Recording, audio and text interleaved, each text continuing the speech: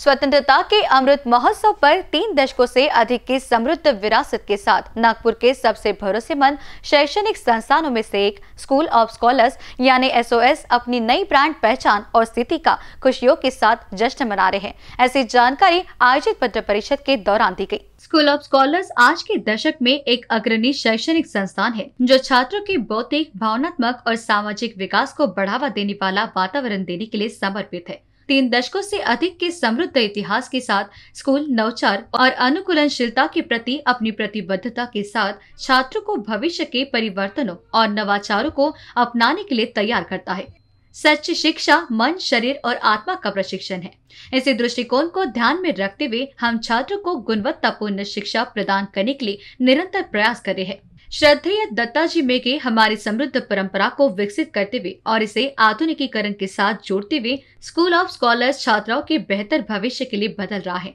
ऐसे पेशेवरों को विकसित करने के लिए, जो न केवल देश को गौरवान्वित करेंगे, बल्कि एक उज्जवल भविष्य का नेतृत्व भी करेंगे। इस शैक्षणिक ट्रस्ट ने मेडिकल साइंस, फार्मेसी, इंजीनियरिंग, प्रबंधन, शारीरिक शिक्षा और कई अन्य विषयों को शामिल करते हुए प्री प्राइमरी से पोस्ट ग्रेजुएट स्तर तक कई प्रकार के संस्थान स्थापित किए हैं। इनमें से प्रत्येक संस्थान में उच्च योग्य और असाधारण रूप से प्रशिक्षित कर्मचारी, अत्याधुनिक प्रयोगशालाएँ, व्यापक पुस्तकालय, खेल के मैदान, छात्र अनुकूल कैंटीन और छात्रों और कर्मचारियों के आवागमन के लिए व्यवस्थित परिवहन है। आज स्कूल ऑफ़ स्कॉलर्स जो एक, हमारी स्कूल जो है, एक पैंतीस साल पुराना हमारा ये इंस्टीट्यूशन है, आज एक नए चेहरे के साथ आ रहा है और जिसमें हमने हमारा लोगो आज चेंज किया है। ये जो लोगो हमने चेंज किया है, उसमें कुछ सिंबल जो हमने लिया है, उसका महत्व ये है कि उसमें हमने एक पेंसिल ली है, जिससे हम लोग शिक्षण शुरू करते हैं। उसी के साथ में उसके ऊपर तीन डॉट दिए गए हैं। वो तीन डॉट हमारा रिप्लिकेशन हमारा ये है कि उसमें डिटर्मिनेशन डेडिकेशन ये जो हमारे एंड होलिस्टिक डेवलपमेंट जो हमारे है, इसके साथ में ये डॉट्स उसको रिजेंबल करते हैं।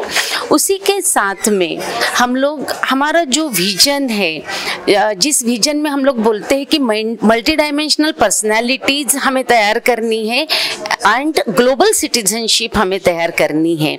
ये दोनों को साथ करते हुए हमने आज का ये लोगो विजन एंड मिशन हमने हमारे स्कूल ऑफ़ स्कॉलर्स के लिए आज 23 अगस्त को एक्सेप्ट किया है। स्कूल ऑफ़ स्कॉलर्स में जो लोगों का अनावरण हुआ है, वो इसलिए हुआ है कि जो अभी फ्यूचर एकेडमिक्स में एनईपी भी अभी गवर्नमेंट ने इंट्रोड्यूस किया है तो उसको मद्देनज़र रखते हुए फ्यूचरिस्टिक भी हम लोगों ने क्या करना चाहिए एजुकेशन में?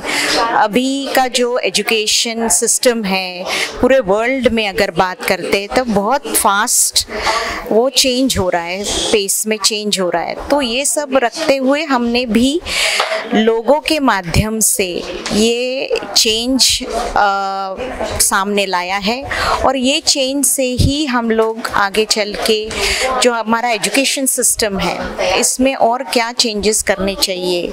आ, जो बच्चों को नए नए सब्जेक्ट्स इंट्रोड्यूस हो रहे जैसे एआई है क्रिटिकल थिंकिंग है रोबोटिक्स है और और मैथ्स में जैसे और बच्चों को डिफ़िकल्टी जाती है सब्जेक्ट्स में। सो so, बच्चों से भी बात करके चीज़ें पता चली है कि उनको कहाँ पे क्या प्रॉब्लम्स होते हैं। तो पोडेगोजी में क्या चेंजेस लाने चाहिए? टीचर्स के लिए हम लोग काफ़ी ट्रेनिंग सेशंस कर रहे हैं। तो टीचर्स में भी कैसे बदलाव लाना चाहिए? आज के एजुकेशन सिस्टम को माइंड में रखते हुए।